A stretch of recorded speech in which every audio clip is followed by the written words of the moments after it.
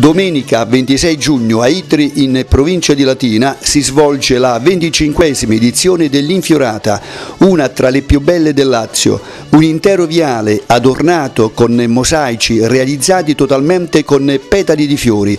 L'evento, oltre a impegnare decine di artisti locali e non, richiama migliaia di persone provenienti da ogni regione, entusiasti nell'ammirare la celebre e fantasiosa infiorata della cittadina laziale.